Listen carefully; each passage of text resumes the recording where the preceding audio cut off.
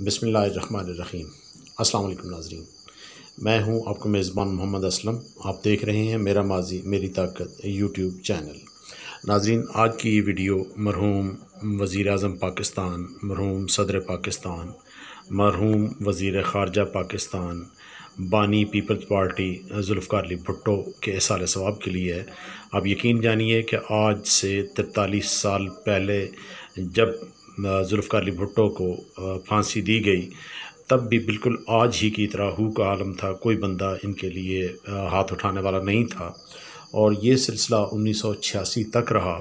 1986 में जब इनकी बेटी पाकिस्तान वापस आई तो उसके पीछे चलते हुए बहुत से जियाले जो है, वो गड़ी खुदा बख्श जाने लग गए। और फिर मैंने देखा कि गड़ी खुदा बख्श में मज़ार भी बनने लग गया, मज़ार बना। फिर मज़ार के ऊपर जो है इनका सालाना मेला सजने लग गया। और एक वक्त तक वहाँ पे जियाले जो है, वो अपनी हाज़िरी जो है लगवाते रहे। आज का वक्त जो है, वो एक दफ़ा फिर भुट्टो को वो अकेला छोड़ गया। आज पाँच अप्रैल है।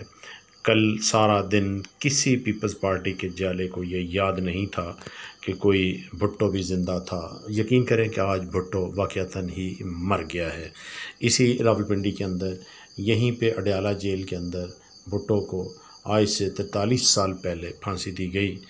तो उस वक़्त भी यहाँ पे भुट्टो का रोने वाला कोई नहीं था और पूरे मुल्क में किसी बंदे की आवाज़ तक नहीं निकली थी। और फिर ये सिलसिला अगले पाँच, छः साल तक रहा।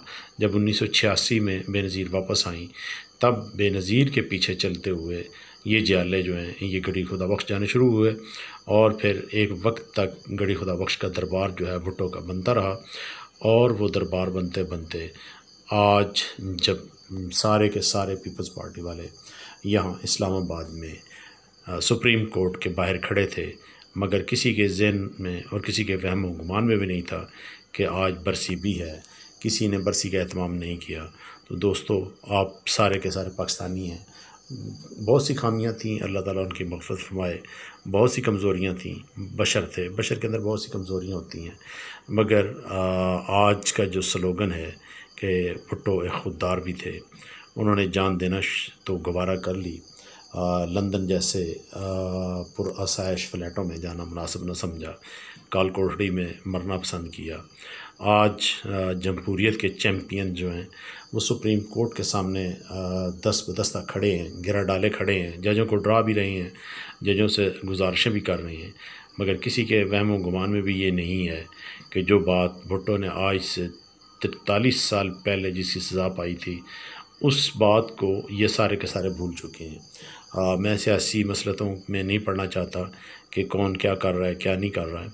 लेकिन मैं आज इस यतीम भुट्टो के लिए इस सारे सवाब के लिए ये वीडियो कर रहा हूँ। मेरी आप तमाम देखने वालों आ, सुनने वालों से गुजारिश ये है कि इस मर्द कलंदर के लिए फ़ातह खानी का अहतमाम करें। अब पीपल्स पार्टी के लिए ये बेकार हो चुका है।